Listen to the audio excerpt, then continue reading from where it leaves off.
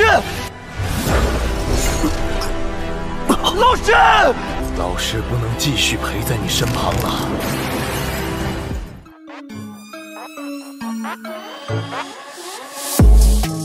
Halo para pecinta Battle Through the Heavens dimanapun kalian berada Udah siap kancut dong dengan perjalanan dari Mang Oyan? Terima kasih untuk kalian yang selalu stay di sini dan udah selalu meramaikan kolom komentar Kuilah nggak usah pakai lama-lama lagi kita kancutkan perjalanan Mang Oyan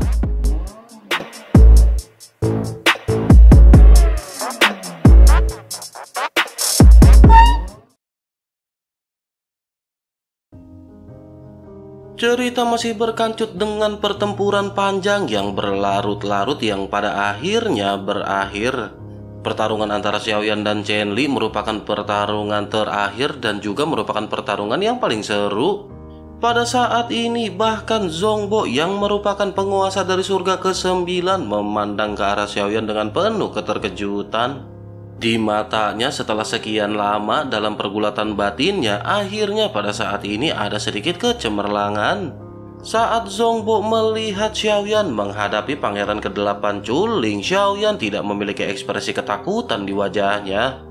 Justru pada saat itu Xiaoyan menampilkan ekspresi sombong dan dipenuhi dengan keberanian ketika berbicara kepada Chuling. Xiaoyan juga memancarkan ketenangan di matanya ketika ia berhadapan dengan Chuling.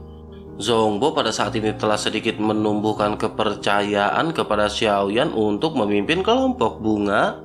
Pada saat ini beberapa sosok yang percaya kepada Xiaoyan hanya ada Jie dan Hansen.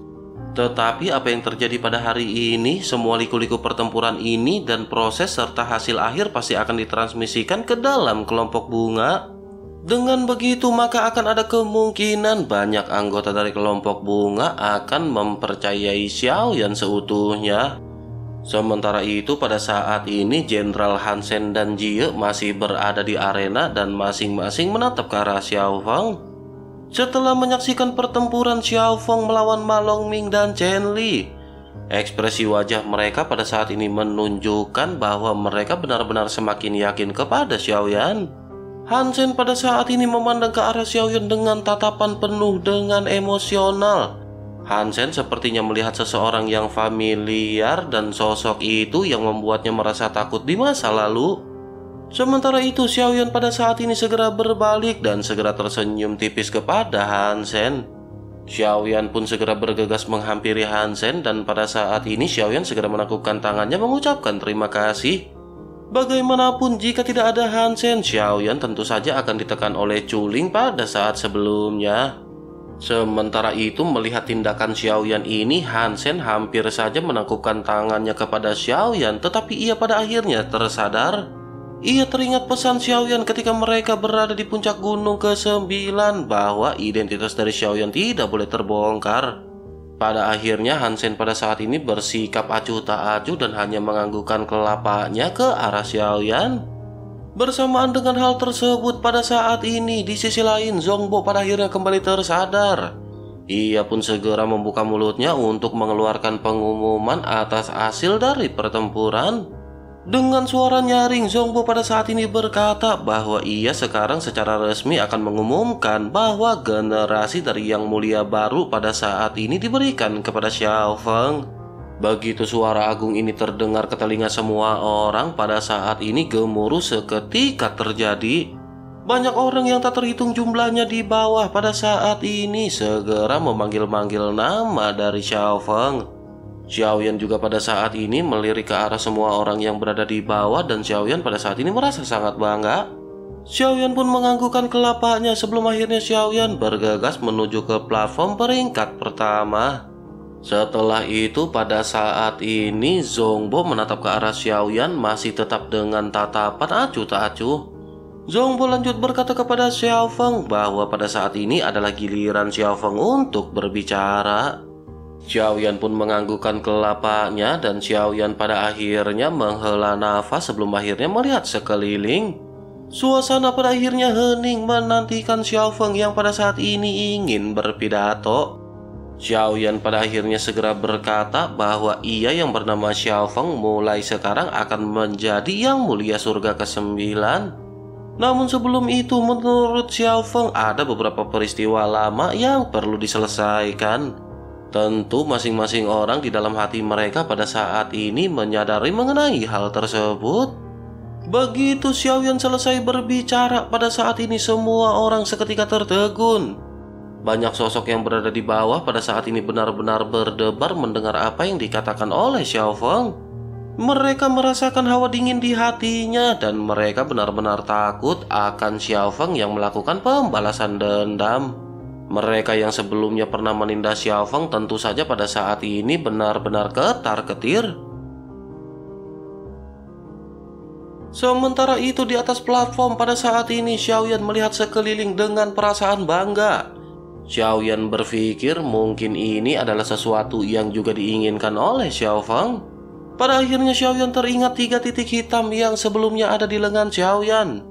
Xiaoyan ingin tahu apakah titik-titik ini menipis atau bahkan hilang setelah Xiaoyan menghancurkan Chen Li. Pada akhirnya Xiaoyan segera membalik telapak tangannya dan pada saat ini masih terlihat ada dua titik berwarna hitam. Namun pada saat ini salah satu titik di antara dua titik yang ada ini benar-benar telah sedikit menipis. Xiaoyan berpikir tampaknya pada saat ini kebencian Xiaofeng telah sedikit berkurang. Selanjutnya tinggal dua orang lagi yang bertengger di ingatan Xiao Feng sebelumnya yang harus Xiao Yan tangani. Xiao Yan pun menghela nafas sebelum akhirnya Xiao Yan kembali memandang ke arah sekeliling. Xiao Yan pada saat ini tersenyum tipis sebelum akhirnya Xiao Yan segera kembali mulai berbicara kepada semua orang. Xiao Yan berkata bahwa pada saat ini sebaiknya yang berlalu biarlah berlalu. Selain itu, Xiao Feng ingat bukankah banyak dari saudara yang telah membeli pil pengumpul jiwa dari Xiao Feng? Setelah selesai berbicara pada saat ini, Xiao Yan segera membalikan tangannya dan banyak botol berisikan ramuan pil pengumpul jiwa di lengan Xiao Yan. Xiao Yan pada akhirnya lanjut berkata bahwa pil ini lebih efektif daripada pil kondensasi ki milik mereka.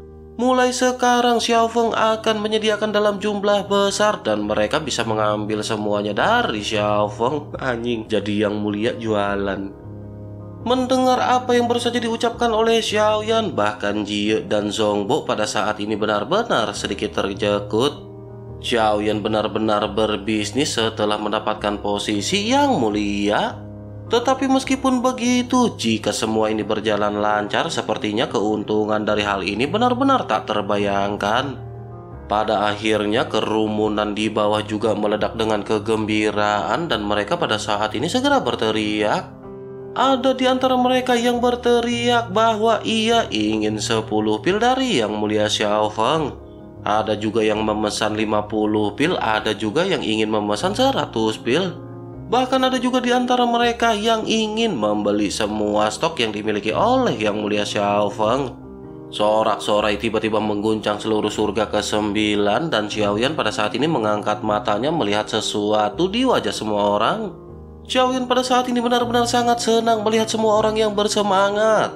Tujuan Xiaoyan melakukan hal ini sesungguhnya adalah karena Xiaoyan membutuhkan sumber daya yang cukup Xiaoyan perlu merekrut banyak orang yang setia mengikutinya. Oleh karena itu, Xiaoyan pada saat ini harus membuat semua orang memiliki ketergantungan kepada Xiaoyan. Tetapi meskipun begitu, dengan banyak peminat seperti ini, maka Xiaoyan juga harus membentuk tim untuk pemurnian. Dengan jumlah peminat yang sangat banyak, tentu saja Xiaoyan tidak akan bisa menanganinya sendirian. Xiaoyan harus memikirkan untuk membentuk tim pemurnian obat yang besar di masa depan untuk memenuhi permintaan yang besar dan sepenuhnya memonopoli pasar. Selain itu, Xiaoyan juga pada saat ini tidak perlu khawatir untuk bersaing dengan pavilion Qianbao atau pavilion bahan obat. Setelah pertempuran ini, semua orang tentu tahu siapa backingan Xiaoyan. Hansen bukanlah orang sembarangan oleh karena itu pavilion Qianbao sepertinya tidak akan berani bertindak banyak terhadap Xiao Fang. Pada akhirnya Xiaoyan menekan perasaannya ini sebelum akhirnya kembali berbicara kepada semua orang agar mereka jangan khawatir. Xiao Fang pasti akan memenuhi kebutuhan semua orang terhadap pil pengumpul jiwa untuk kultivasi mereka. Xiaoyan pun merasa sangat senang karena Xiaoyan pada saat ini telah mendapatkan jalan lainnya. Sementara itu di sisi lain pada saat ini Jie memandang ke arah Xiaoyan dengan rasa takjub. Jie tanpa sadar bergumam bahwa orang ini benar-benar sungguh luar binasa. Setelah menyaksikan pertempuran antara Xiaoyan dan Chen Li pada saat ini Jie tidak lagi meragukan kemampuan Xiaoyan. Terlebih lagi, Jie juga tidak menyangka situasi seperti ini akan terjadi setelah Xiaoyan naik ke posisi yang mulia surga ke-9. Ketika Jie memandang ke arah Xiaoyan, pada saat ini ia merasakan ada perasaan yang muncul. Debar-debar asmara pada saat ini benar-benar melonjak di dalam hati Jie. Perasaan ini belum pernah Jie rasakan terhadap pria lain dan ini pertama kalinya dirasakan oleh Jie. Namun setelah beberapa saat pada akhirnya Jie segera kembali tersadar dan memutuskan untuk menghilangkan perasaan tersebut. Pada akhirnya Jie hanya bisa tersenyum memandang ke arah Xiao Feng yang pada saat ini menjual pil kepada kerumunan. Upacara daftar emas ini pada akhirnya benar-benar telah mencapai puncak acaranya Adegan penjualan Xiaoyan yang agak lucu juga pada saat ini telah berakhir dan kerumunan perlahan-lahan bubar. Berdiri di platform emas pada saat ini ada 10 sosok yang berhasil bertahan hingga tahap akhir. Setelah Xiaoyan menghabisi Chen Li, otomatis ada posisi yang kosong tetapi segera terisi oleh posisi yang berada di bawahnya. Dengan begitu, orang yang sebelumnya tidak masuk dari 10 daftar emas juga pada akhirnya segera naik. Pada saat ini, Malong Ming yang sebelumnya cedera juga pada akhirnya perlahan-lahan telah memulihkan diri. Malong Ming yang sudah tersadar pada saat ini segera menduduki peringkat kedua dari platform emas. Pada akhirnya semua orang benar-benar telah berkumpul dan pada saat ini tetua yang bernama Zongbo segera kembali membuka mulutnya. Ia berkata bahwa upacara daftar emas secara resmi telah berakhir 10 karakter teratas pada saat ini dapat mengikutinya ke Pavilion Wanji atau Pavilion 10.000 harta karun. Mereka pada saat itu akan bisa memilih sejumlah keterampilan dan teknik bertarung. Setelah selesai berbicara, ia pun melambaikan tangannya mengisyaratkan semua orang untuk segera mengikutinya. Pada akhirnya semua orang pada saat ini menangkupkan tangannya dan memutuskan untuk segera mengikuti tetua Zongbo. Sementara itu Xiaoyan pada saat ini menoleh ke arah Malong Ming. Xiaoyan tersenyum dengan ekspresi ramah dan pada saat ini menghibur Malong Ming. Xiaoyan menepuk bahu Malong Ming dan berkata agar Malong Ming pada saat ini jangan berkecil hati. Bagaimanapun kegagalan adalah awal dari kesuksesan oleh karena itu Malong Ming pada saat ini harus terus bersemangat. Kalah sekali adalah hal yang wajar, oleh karena itu Malong Ming harus menjadi semakin baik di masa depan. Xiao Feng pada saat ini merasa lebih optimis kepada Malong Ming dan berpikir bahwa Malong Ming akan tumbuh dengan pesat di masa depan. Dorongan yang tiba-tiba dari Xiao Feng ini seketika membuat ekspresi Malong Ming sedikit terkejut. Setelah mengatakan hal tersebut, sosok Xiao Feng pada akhirnya meninggalkan Malong Ming dan bergegas mengikuti langkah kaki dari tetua Zongbo. Malong Ming pada saat ini benar-benar terengah-engah melihat ekspresi yang baru saja ditunjukkan oleh Xiao Yan. Malong Ming berpikir bahwa sebelumnya ia benar-benar telah mengintimidasi Xiao Yan, tetapi mengapa Xiao Yan pada saat ini bersikap baik kepada Malong Ming? Xiaoyan pada saat ini benar-benar memperlakukan Malong Ming seolah-olah Malong Ming adalah anak kecil yang ambegan. Namun pada saat ini Malong Ming juga berpikir tampaknya di dalam pertempuran sebelumnya Xiao Feng ini benar-benar menahan serangannya dan tidak berniat untuk membasmi Malong Ming. Tentu saja jika Xiao Yan memang berniat untuk menghancurkan Malong Ming, Malong Ming akan bisa seperti Chen Li yang berubah menjadi debu. Bahkan pada saat ini tidak ada yang tersisa dari tubuh Chen Li. Malong Ming pun pada akhirnya menghela nafas dan berpikir bahwa Xiaoyan benar-benar tidak terlalu banyak memiliki permusuhan terhadap Malong Ming. Di mata Malong Ming pada akhirnya ada kilatan cahaya yang terang kembali setelah redup beberapa saat. Malong Ming pada akhirnya memantapkan diri dan berniat untuk bisa menyusul Xiao Fang di masa depan. Malong Ming pada akhirnya segera bangkit dan pada saat ini segera buru-buru mengikuti langkah kaki Xiao Feng. Upacara daftar emas yang diadakan di surga ke-9 pada saat ini secara alami menyebabkan gelombang fluktuasi di aliansi Doshan. Hanya yang mulia di surga ke-9 yang pada saat ini perannya telah diganti. Sementara itu yang mulia di surga yang lain pada saat ini masih tetap bertahan meskipun mereka semua dalam kondisi luka parah Selain itu, tentu saja pergantian dari yang mulia ini akan dengan cepat tersebar di setiap surga di aliansi Doshan. Dengan begitu, nama Xiaofeng juga pada saat ini benar-benar akan dengan cepat terkenal di seluruh aliansi Doshan.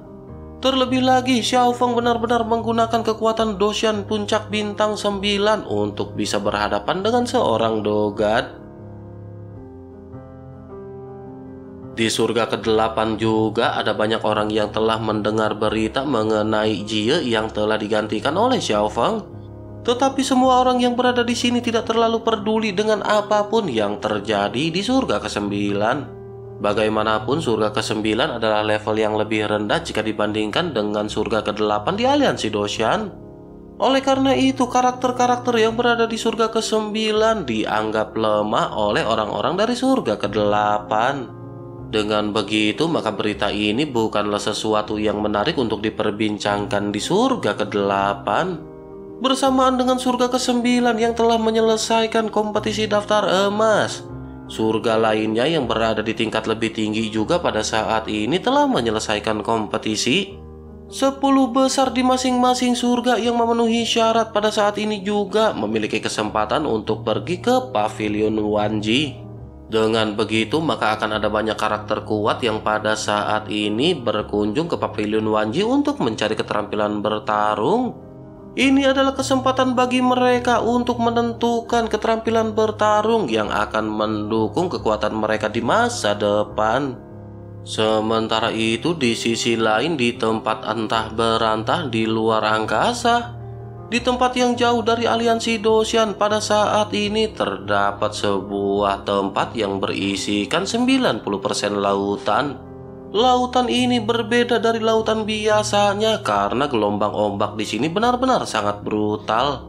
Di tengah-tengah gelombang deras ini terlihat sesosok makhluk yang pada saat ini keluar dari lautan. Sosok ini tidak lain dan tidak bukan adalah Raja Laut yang memegang trisula di tangannya. Pada saat ini ia merasakan adanya aura kehidupan di tempat yang tidak berpenghuni ini. Terlebih lagi ia juga merasakan adanya aura yang sangat aneh. Ia pada akhirnya memutuskan berkeliling dan hingga pada akhirnya setelah beberapa saat ia merasakan aura yang semakin kuat dan ia bergumam mungkinkah aura ini berasal dari klan naga generasi pertama. Pada akhirnya ia menuju ke sumber aura tersebut sebelum akhirnya ia pada saat ini melihat sesosok mayat yang tergeletak. Tubuh tak bernyawa yang tergeletak diam di permukaan laut ini tidak lain dan tidak bukan adalah Raja Sisik Naga. Tentu saja akibat dari turbulensi lubang cacing sebelumnya, Raja Sisik Naga benar-benar tidak bisa bertahan. Pada saat ini ia benar-benar telah muncul di kawasan laut yang tidak diketahui di mana keberadaannya. Terlebih lagi jejak aura kehidupannya juga pada saat ini sudah benar-benar menipis. Raja Laut pun pada saat ini segera memeriksa kondisi dari Raja Sisik Naga. Pada akhirnya setelah beberapa saat ia pun bergumam meskipun sosok ini sekarat tetapi masih ada secerca harapan. Raja Laut pun pada akhirnya melambaikan tangannya bermaksud untuk membawa Raja Sisik Naga. Namun pada saat yang bersamaan sesosok juga pada saat ini segera muncul tepat di seberangnya. Raja Laut pun sedikit terkejut melihat sosok tubuh yang pada saat ini dikenalinya. Sosok tubuh ini adalah sosok Judi. Raja Laut pun segera menghampiri Judi dan pada saat ini segera mengeluarkan sebotol cairan spiritual dan memberikannya kepada Judi. Raja Laut pada akhirnya berinisiatif untuk membawa mereka dan ingin menanyakan mengenai informasi ini kepada Judi. Ia berpikir setelah Judi tersadar barulah ia akan bisa mendapatkan informasi mengapa Judi bisa mengalami hal tersebut. Pada akhirnya Raja Laut segera melambaikan tangannya dan pada saat ini segera bergegas pergi membawa Raja Sisik Naga dan Judi. Sementara itu adegan pada saat ini kembali beralih di suatu tempat di salah satu dari lima alam superior. Di tengah aula utama pada saat ini ada juga sesosok yang sedang duduk bersila. Pada saat ini ada Keyun dan tiga dewa yang mengelilingi dan menatap ke arah sosok tersebut. Pada akhirnya setelah lama terpejam, mata dari sosok tersebut pada saat ini terbuka. Ada tatapan yang sangat tegas di matanya dan terlihat bahwa ini bukan pertama kalinya ia mengucapkan kata-kata seperti itu. Sosok tersebut pada saat ini berteriak bahwa ia akan mencari ayahnya sekarang. Sosok ini tidak lain dan tidak bukan adalah sosok Longyi yang sebelumnya telah ditemukan oleh orang-orang dari kuil kuno. Tampaknya Longyi telah diberitahu mengenai keberadaan dari Xiaoyan dan pada saat ini Longyi ingin menyusul keberadaan Xiaoyan. Namun pada saat ini Senki segera memarahi Longyi dengan nada agung dan segera menjelaskan semuanya kembali kepada Longyi. Senki berkata bahwa adik kesembilan sekarang berada di aliansi Doshan. Jika Long Yi pergi mencarinya, maka itu akan mengganggu rencana awal semua orang dan mungkin akan membawa potensi bahaya kepadanya. Terlebih lagi, luka Long Yi juga pada saat ini benar-benar masih belum sembuh total. Oleh karena itu, pada saat ini lebih baik Long Yi jangan main-main dan berfokus pada proses penyembuhannya.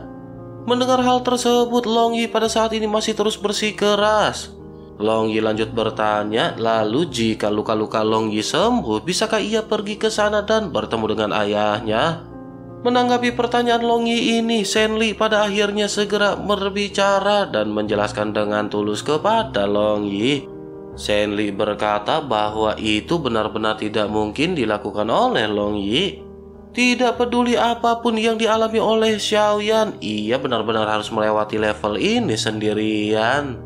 Mata Long Yi pada akhirnya menjadi sangat berat dan pada saat ini ia menundukkan kelapanya dipenuhi dengan kesedihan. Bagaimanapun Long Yi telah mengikuti Xiaoyan dari benua Doki. Oleh karena itu perpisahan ini benar-benar sangat berat bagi Long Yi dan Long Yi pada saat ini hanya bisa menerima nasibnya. Namun tak lama setelah itu langkah kaki segera terdengar dan pada saat ini sosok Ding Yue segera menghampiri Long Yi. Melihat sosok Long Yi yang pada saat ini sudah terbangun, Ding Yue pun segera memanggil Long Yi dengan kegembiraan. Long Yi pun segera menoleh mendengar suara yang familiar di telinganya. Begitu memandang sosok yang pada saat ini dikenalinya yang ternyata adalah Ding Yue, Long Yi tertegun sejenak sebelum akhirnya Long Yi segera dipenuhi dengan kegembiraan. Long Yi pada akhirnya segera menghampiri Ding Yue sebelum akhirnya keduanya pada saat ini saling berpelukan. Meskipun keduanya belum lama berkenalan dan tidak memiliki ikatan saudara, tetapi mereka berasal dari satu tim yang sama yakni tim Fearless. Dengan begitu, maka ikatan saudara benar-benar telah terjalin di hati masing-masing dan mereka pada saat ini benar-benar melepas kerinduan. Keduanya pada saat ini saling bertanya kabar satu sama lain. Setelah sedikit banyak bertukar kabar, pada akhirnya Ding Yue pada saat ini segera memberitahukan mengenai misi yang dijalani oleh Xiaoyan. Mendengar penjelasan dari Ding Yue yang merupakan orang yang cukup dipercayai oleh Long Yi, pada saat ini Long Yi pada akhirnya benar-benar mengerti. Bersamaan dengan Long Yi yang pada saat ini merenung dengan kesedihan tiba-tiba sosok yang mulia ratu segera muncul. Semua orang pada saat ini segera menangkupkan tangan mereka ke arah sang ratu yang baru saja tiba. Long Yi dan Ding Yue juga pada saat ini segera menoleh ke arah yang mulia ratu yang baru saja nongol. Ding Yue pada saat ini segera menangkupkan tangannya dan mengucapkan terima kasih kepada Yang Mulia Ratu karena telah merawat Ding Yue dan juga menyembuhkan Long Yi. Long Yi juga pada saat ini menangkupkan tangannya ke arah Yang Mulia Ratu karena Long Yi juga tahu bahwa ia telah ditolong oleh kuil kuno. Yang Mulia Ratu pun tersenyum dan melambaikan tangannya sebelum akhirnya pada saat ini ia memperhatikan sosok Long Yi. Yang mulia ratu juga bertanya apakah Xiaoyan adalah ayah dari Long Yi. Long Yi pun mengangguk berat sementara sang ratu pada saat ini mengerutkan kening. Setelah dengan hati-hati memeriksa Long Yi dari atas ke bawah, sang ratu pada saat ini memastikan ada sesuatu yang tidak beres. Sang ratu merasakan bahwa tidak ada garis keturunan milik Xiaoyan di dalam tubuh Long Yi. Tetapi yang pada saat ini dirasakan oleh Yang Mulia Ratu akhirnya membuat ia benar-benar menegang. Di dalam hatinya Yang Mulia Ratu bergumam bagaimana mungkin Zhu Jiyuyin atau naga hitam ini muncul di sini. Yang Mulia Ratu pada saat ini benar-benar terkejut dan hanya bisa menghela nafas setelah menyadari fakta dari Long Yi. Nama ini benar-benar sangat mengejutkan di seluruh 3000 alam. Nama ini benar-benar dipenuhi dengan rasa kagum yang kuat bahkan jika aliansi Dosian mengetahuinya. Mereka tentu saja akan segera memburu makhluk tersebut. Ekspresi langka pada saat ini muncul di wajah sang ratu sebelum akhirnya ia menekan perasaannya. Sang ratu pada akhirnya lanjut tersenyum tipis dan pada saat ini segera bersikap baik kepada Long Yi. Sang ratu pada akhirnya segera bertanya kepada Long Yi apakah Long Yi pada saat ini ingin membantu ayahnya. Mendengar kata-kata ini, Long Yi pun seketika mengangkat kelapanya dan dengan keras lanjut menganggukkan kelapanya.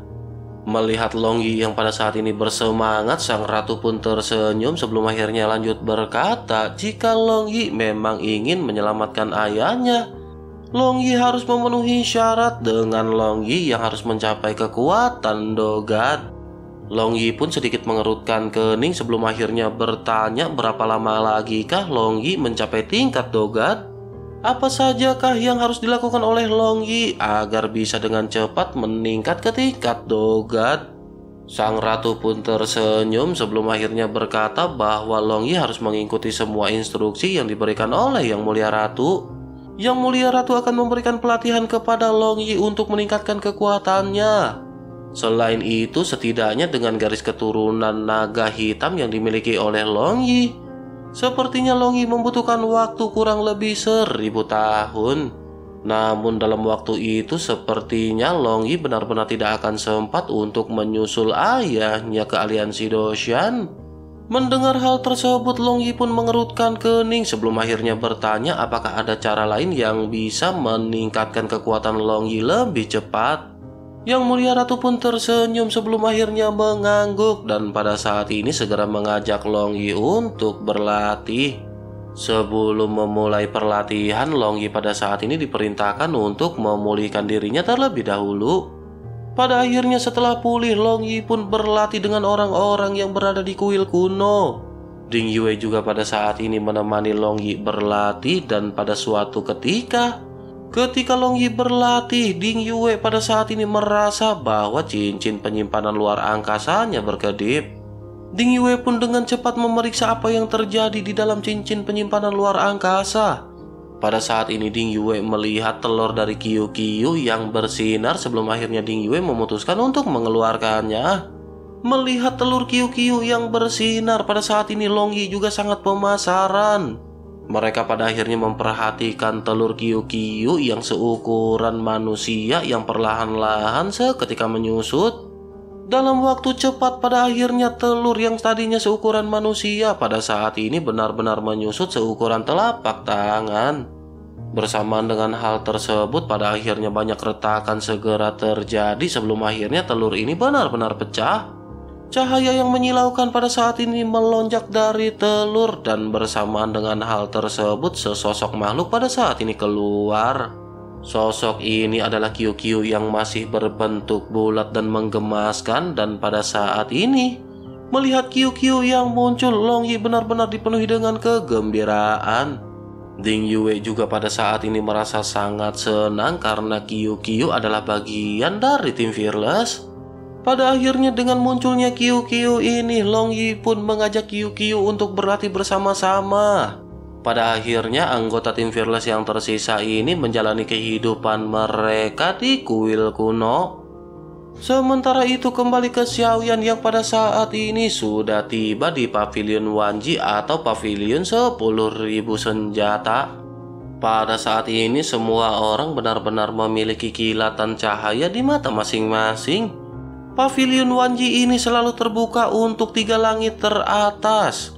Sementara itu untuk enam langit ke bawah mereka benar-benar memiliki waktu terbatas untuk mengunjungi Pavilion Wanji. Oleh karena itu tidak sembarangan bagi mereka untuk bisa masuk ke pavilion tersebut. Hal itulah yang pada akhirnya membuat semua orang yang pada saat ini berada di surga ke-9 benar-benar sangat bersemangat. Tetapi meskipun begitu, pada saat ini 10 peringkat teratas dari 8 surga yang berada di atas mereka juga berkunjung ke sini. Oleh karena itu, sekarang adalah waktu tersibuk dari Pavilion Wanji ini. Selain itu, pada saat ini surga ke-9 juga sepertinya benar-benar menjadi surga yang terakhir yang datang ke Pavilion Wanji. Bahkan surga ke-8 pada saat ini sudah berada di depan mereka. Xiaoyan juga pada saat ini bisa melihat Culing yang sedang berbincang-bincang dengan yang mulia lainnya. Tatapan Xiaoyan pada saat ini menjadi sedingin es ketika menatap ke arah Culing di kejauhan.